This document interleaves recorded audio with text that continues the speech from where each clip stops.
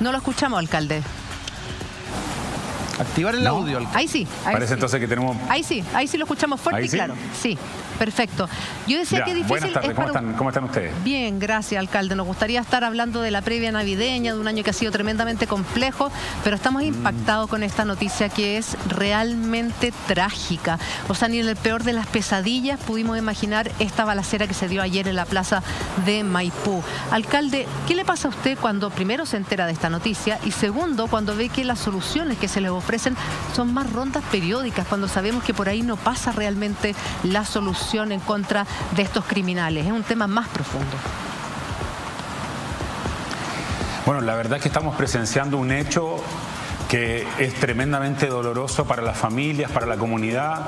Nosotros recordemos que en el mes de agosto del año 2019 incluso tuvimos una matanza aquí en Puente Alto, no sé si tú recuerdas, sí. que también justamente eh, producto de un ajuste de cuentas, eh, unos delincuentes llegaron a un local tragamonedas y mataron a varias personas de la comuna. Entonces, y, la verdad es que a mí, fíjate que yo, estoy bastante indignado, o sea, yo, diría que estoy muy indignado porque siento que este es un problema sistémico, no tiene que ver solo con los carabineros eh, y siento que de alguna manera como ciudadanos y también como autoridades a veces nos pasa vivimos una suerte de comprahuevo entre instituciones, y hay que decirlo claramente. O sea, aquí hay que ponerse los pantalones de una vez por todas y hacer cambios profundos al sistema, por ejemplo, procesal penal garantista, que hoy día le da hasta un abogado al delincuente y resulta que la víctima que fue eh, abusada, a la que le robaron, le financia al abogado a ese delincuente y queda sin ningún tipo de protección,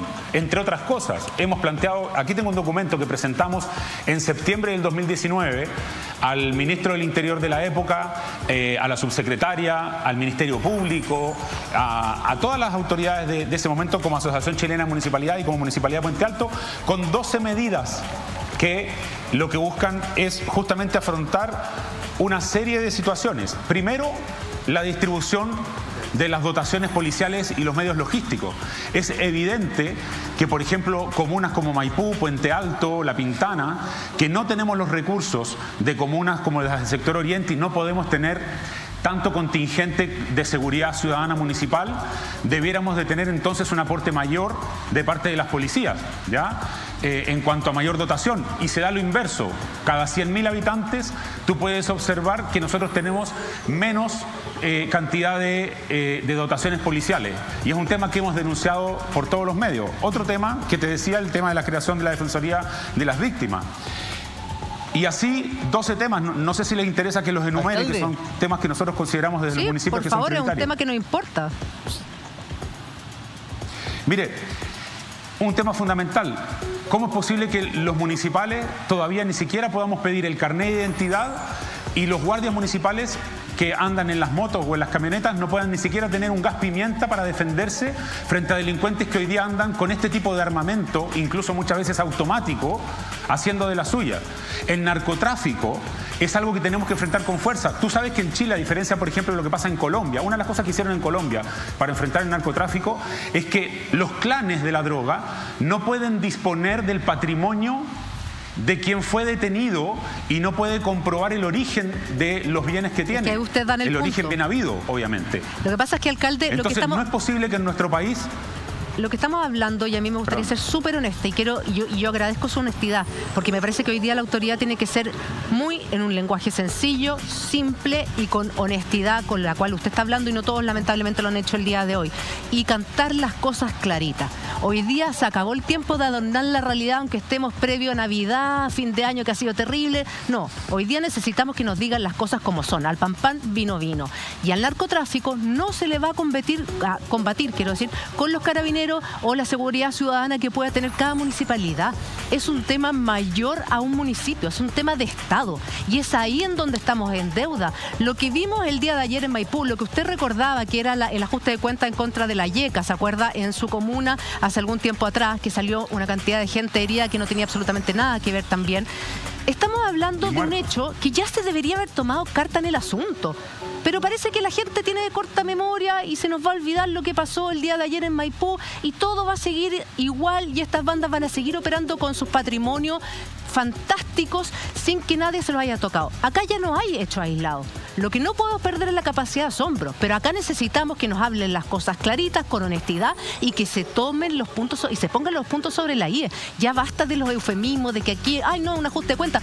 Oye, pero si está muriendo gente que no tiene nada que ver en esto. y no depende de ustedes solamente.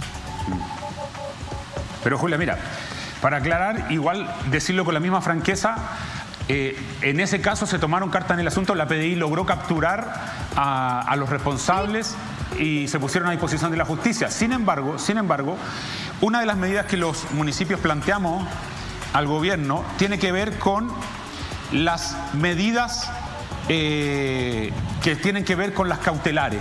¿ya? Cuando tú observas, por ejemplo, que eh, hay delincuentes que eh, tienen una serie de beneficios ¿ya? y que en definitiva, siendo incluso un riesgo para la sociedad, se los vuelve a dejar libre. Eh, nosotros hemos planteado la necesidad de hacer modificaciones profundas ¿ya? y que eh, claramente se produzcan algunos cambios. Me, falta la, hoja justo, la, del número, la número 6, por favor, para, para decir textual, lo que hemos pedido. Ah, pero mire, Oiga, pero eh, antecedentes con relación a los municipios. Tú sabes que la Contraloría nos obliga a los municipios a sacar los guardias de las plazas. En el caso de Puente Alto, nos obligaron a sacar los guardias de las plazas porque no los podemos contratar por el Código del Trabajo. Tú sabes que hemos pedido que se haga una ley que nos permita contratar guardias para colocar en espacios públicos. ¿Cómo se hacen las comunas que tienen más recursos? Se le da una subvención a los comités de seguridad. ¿Por qué en las Condes, Vitacura, etcétera, y en otras comunas que tienen más recursos pueden tener a veces esas garitas en las calles?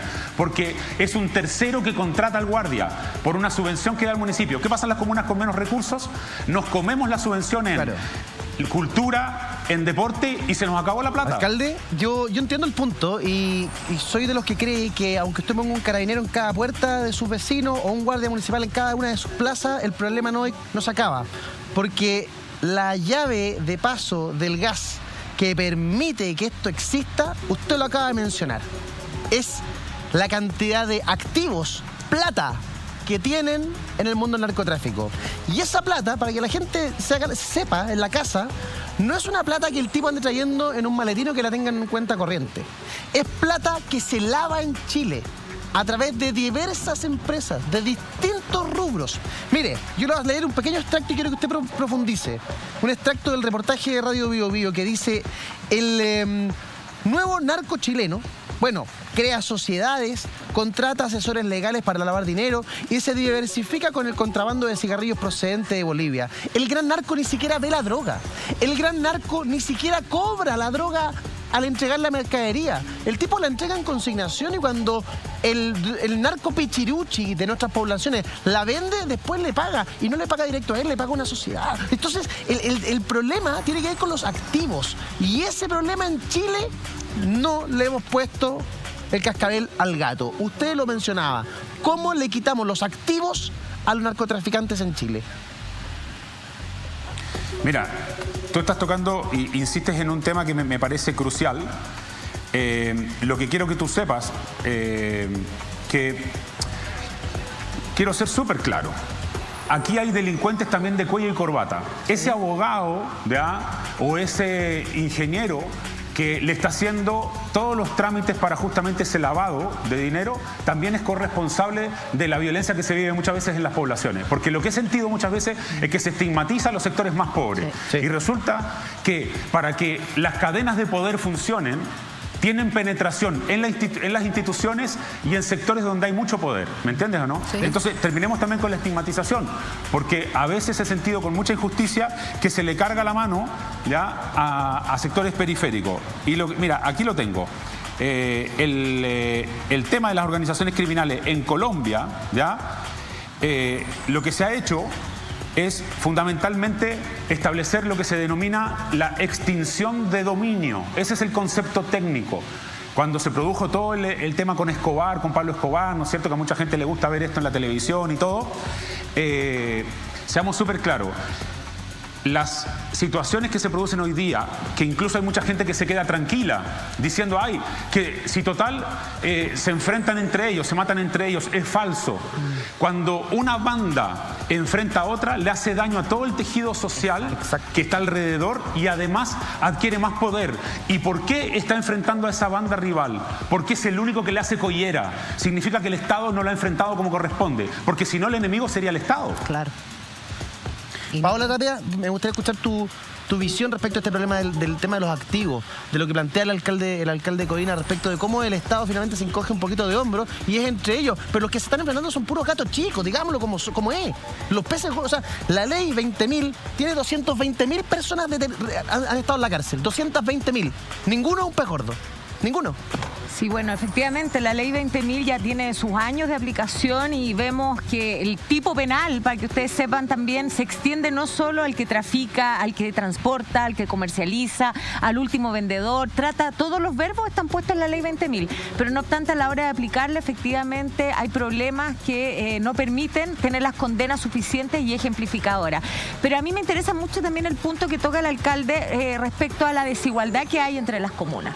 O sea, aquí también hay un tema de la porque quien está tratando de resolver estos problemas es de nuevo una élite que está en comunas adineradas, donde tal como dice el alcalde, tienen para poner casetas, tienen para contratar funcionarios, y no en aquellas comunas que son de clase media, de personas esforzadas como Puente Alto y Maipú, que son las que estamos tocando en este punto. Entonces, ahí también hay un llamado muy puntual eh, y una pregunta también para el alcalde, porque yo siento que hay impotencia también en sus palabras. O sea, él nos muestra una carta que la tiene ahí formal con todos esos puntos. Citaste alcalde, por ejemplo, esta idea de que no se pueden pedir los carnets de identidad. Yo, por ejemplo, para un tema de transporte, luché tanto para que pudiéramos los inspectores de transporte pedir la cédula de identidad y hoy día es ley y lo logramos, porque, bueno, yo, yo igual soy un poco, eh, trato de ser buena gestora, para más pulgar la oreja. Yo hasta que logro el objetivo, hincho, hincho, hincho, hasta que lo logro. Yo veo al alcalde en esa misma posición, o sea, siempre ahí diciendo vamos, vamos, pero pucha alcalde, siento que, que esas voces no se escuchan, que en tu propio gobierno no has logrado tener el apoyo en una comuna tan importante como es Puente Alto, con la cantidad de personas que habitan en ella mm. y en la que la sensación de inseguridad se respira hoy día, al igual que como se respira en Maipú, este idea de inseguridad. Entonces ahí también me gustaría saber foco principal en prevención. Yo creo que es clave la prevención. Entonces ahí, eh, ¿cómo, ves tú también la relación con el gobierno actual y, por qué en definitiva no se escucha y no se cumple con estas promesas que, muchas veces se ponen en mesas técnicas, en esta idea del diálogo, pero que no se materializan? A ver, mira, yo eh, lo que pasa es que cifrar esto en un gobierno puntual igual es un error, porque aquí se viene anquilosando, ya viene decantando hace tiempo. eh, un problema de la estructura de la política pública en seguridad, ya entre otras cosas, por ejemplo, fíjate que eh, cuando se abrieron los fondos concursables de seguridad ciudadana, voy a retrotraerme, ¿ya? Al principio de los gobiernos de la concertación se creó una cosa que se llamaba eh, Seguridad Pública Compromiso 100, como una segura Compromiso 100. ¿ya? Eso fue evolucionando en distintos programas, hasta que finalmente se establecieron los planes comunales de seguridad y se acaba de crear, por ejemplo, hace poco, el Consejo Comunal de Seguridad, donde está el alcalde que lo preside. Sin embargo, no se le dio atribuciones al alcalde para poder instruir en ese consejo medidas y simplemente es un espacio de eh, conversación, análisis, se establece sí un plan comunal que debe guiar, ¿no es cierto?, inversiones, pero nadie está obligado a hacerlo, a seguir ese plan comunal, ¿me entiendes o no? Entonces, lo que hay que hacer es radicar atribuciones de una vez por todas en los municipios y que las políticas de seguridad comunales no estén al vaivén de fondos concursables. Cuando tú das fondos concursables es porque en definitiva estás diciendo que no te alcanza la plata para financiar las políticas de seguridad en todas las comunas y por lo tanto vas a hacer que compitan entre ellas. Financias. ¿Qué pasa? Las comunas, los echas a la pelea, las comunas que tienen más profesionales, que son las comunas que tienen más recursos, claro que son las comunas que finalmente logran ganar esos fondos. ¿Me entiendes? Entonces se termina transformando en una dinámica perversa. Un punto, porque a mí esto es lo que me da impotencia. ¿Usted hace cuánto tiempo presentó ese petitorio que nos acaba de leer? Nosotros se conformó una mesa de trabajo ¿Ya?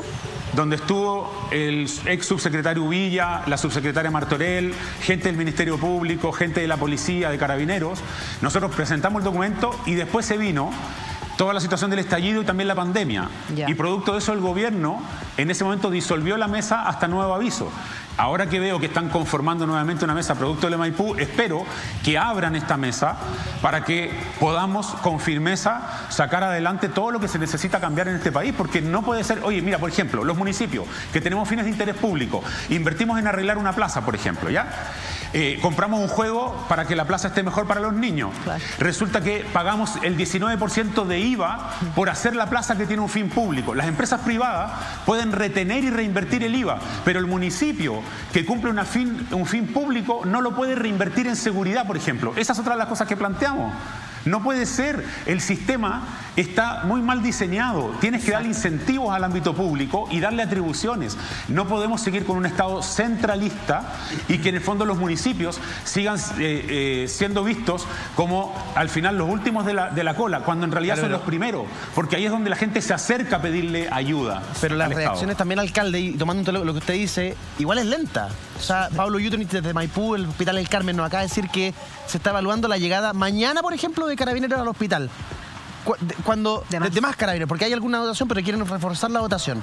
Pero mañana puede ser tarde. Entonces, ¿cómo puede ser tan lento, tan lenta la musculatura del Estado para ir en protección de los funcionarios del hospital, de los enfermos que están en el hospital. Se lo planteo a Carlos Gutiérrez que está aquí en el estudio. esas son las cosas y qué bueno que está el alcalde porque yo lo, lo, he visto durante mucho tiempo hablando de estos mismos temas.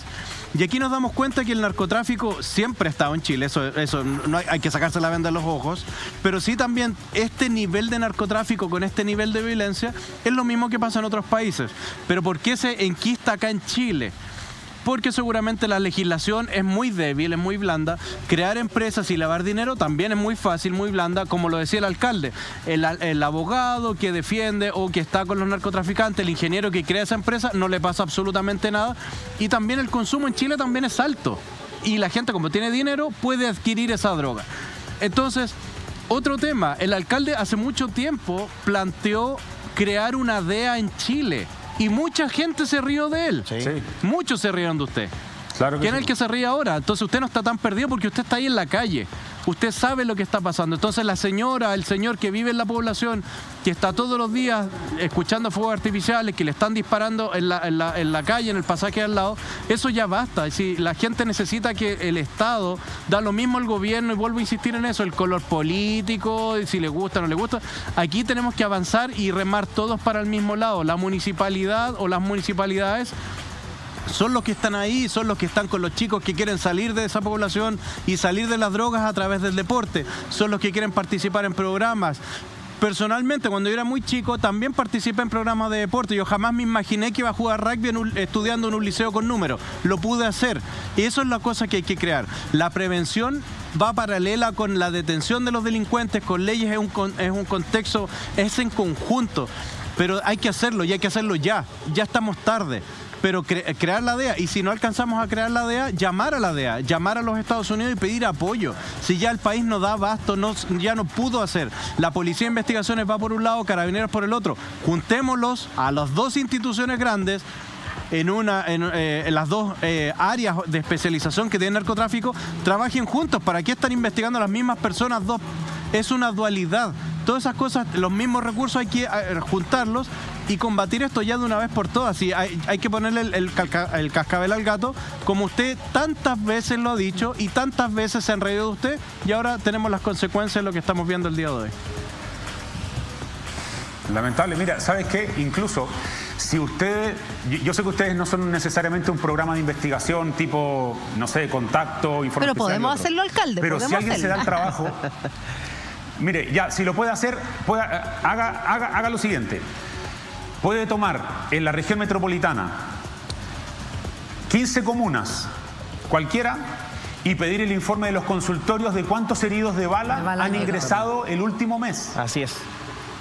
Y ahí va a tener una cifra que usted se va a ir de espalda, porque el armamento ilegal que hay, incluso mira, dentro de las medidas que le habíamos pedido al gobierno, que entiendo que han hecho cosas así en este caso puntual, por ejemplo, conectar el sistema IBIS de identificación balística.